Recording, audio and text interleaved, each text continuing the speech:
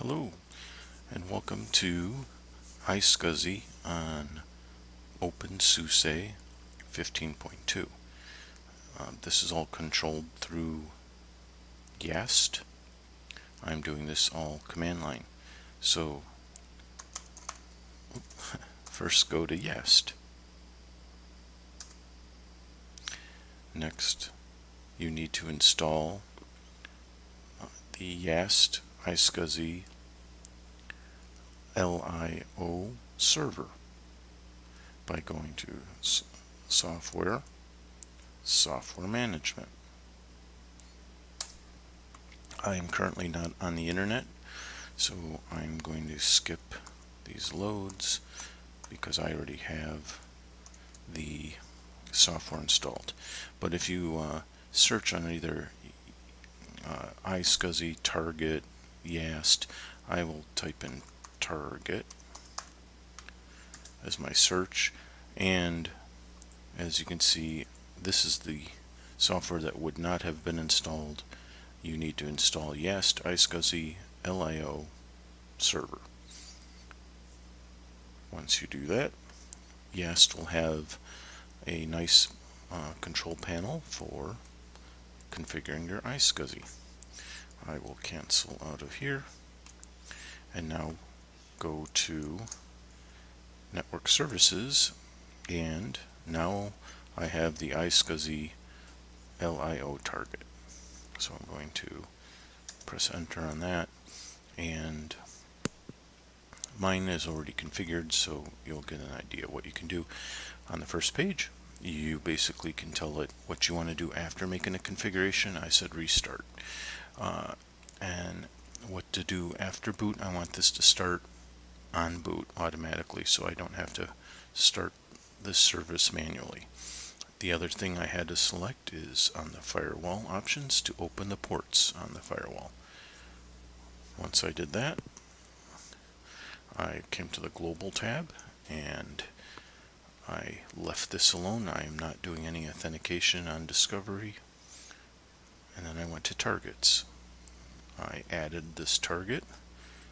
Basically, when you do, I'm going to do Alt A, it gives you, it builds a name, a demo name basically that you can change if you need to, builds the identifier, builds support group, and then the second you would add your LUNs. So I'm going to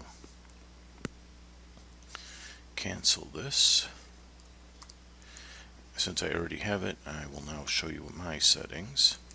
So I changed my target to be uh, the date, and then I changed, uh, I wonder why it's not showing the whole thing here, but uh, I basically changed the name to com.demo.os. 15, my identifier, I made it real simple, is 3000. You can leave all the defaults. Um, you can bind to a specific IP on your server, so you can have a uh, a secure, non you know routable uh, iSCSI network between your servers.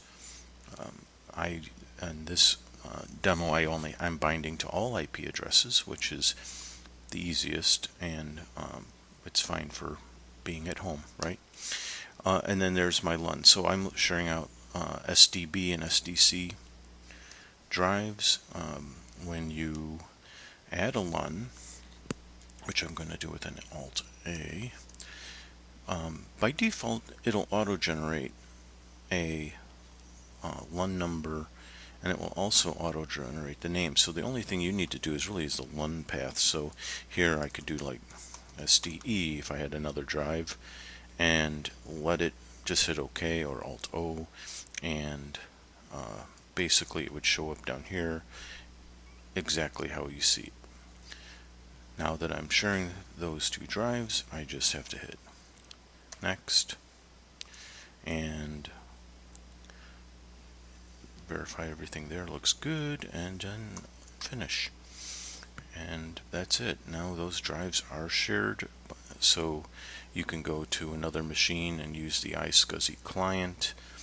Uh, if it's another SUSE machine, you would just do Yast, Yast, iSCSI client is the shortcut, and you would just point to the discovery IP of this server, and um, tell it to mount the drives and you're good to go.